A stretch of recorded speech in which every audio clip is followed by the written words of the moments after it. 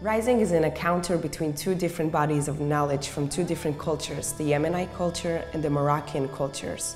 We are two dancers bringing our ethnic body, our cultural body, all the movements that we have learned as children, the movements that have been passed through the generations in the cultures we are part of.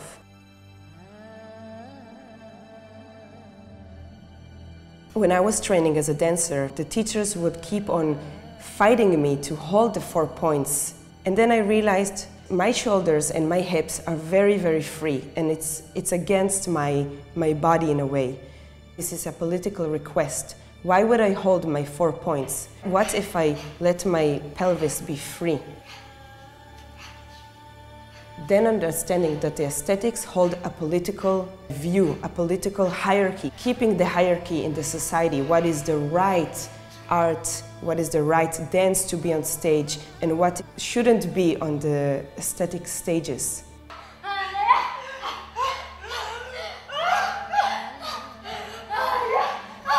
Rising allows us to bring what is familiar and known for us, what is our social body, and being stripped from this, the aesthetic of the ethnic dance, we really allow the audience and ourselves to observe what is these dances, what is the shapes of it.